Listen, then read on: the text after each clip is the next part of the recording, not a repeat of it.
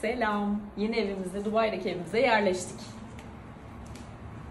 Evin e, eşya alımıyla ve dekorlarıyla asla ilgilenemedim bu arada. Hepsini Tolga yaptı. Ama bayağı güzel iş çıkarmış diyebilirim. Hoşuma gitti. Tabii biraz eksikleri var.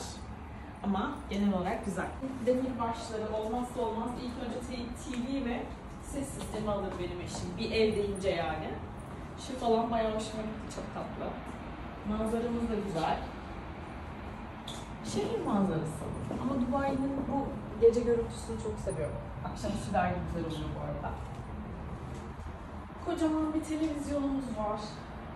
Şöyle mini bir pofidik koltuklardan almış. Sonra benim oyun koltuğum tamam. Mila buna köpek koltuğu dedi. Tamam işte. Değil mi? Doğru bildi. Kendini hep oraya oturuyor. Şu sehpa zaten cam sehpalardan bizim şeyimizde de var. Hav hav mı diyorsun sen? Bunlar falan da bayağı hoş. O yüzden yüksek tebriklerimi sunarım hayatım. Şuraya şöyle bir ada gelecek. Yani mutfak adası diye hayal ediyorum. O zaman gayet güzel olacak çünkü tezgah falan bayağı küçük. Pek bir şey kullanılmıyor bu arada. Ee, henüz ocakta kullanılmaya başlanmadı.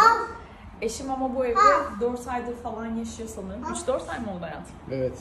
Ve sürekli dışarıdan kahvaltıyı bile dışarıdan sipariş veriyor. Sadece kahvaltı Bir değil.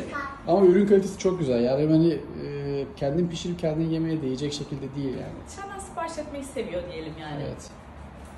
Evet. şimdi sizi şok edecek bazı görüntülere ulaştım. Onları sizle de paylaşmak.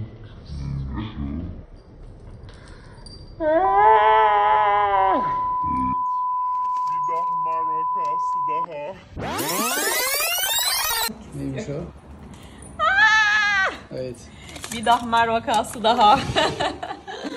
Neyse ki sordum. Bunlar eee, şey değilmiş. Sanatı falan değilmiş. Barbekü için almış. Zaten şey bölümü. Kendisine böyle çalışma masası falan yapmış. Bence güzel satışmış. Koltuğu falan da. O koltuğu çok pahalıydı. Çok pahalıydı. Hmm, Pahalıydı diyorsun ama kıydım diyorsun. Hadi bakalım. evet. Bu da bence çok güzel. Böyle kayıp mı gemi şeklinde. Kitaplık mı denir, eşya koymalık mı, şaraplık mı artık hepsi bir arada. Güzel ama. Nice. Bakalım. Aa zengin oldum. Bunlar Bırak benimdir hayatım. Aa benim paralarım var mı? Al al yanına.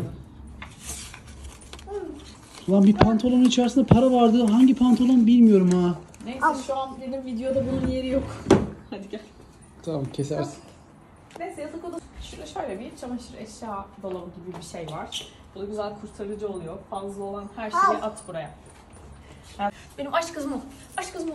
Aşk kızım o. Aşk kızım. Aşk aşk aşk. Öyle.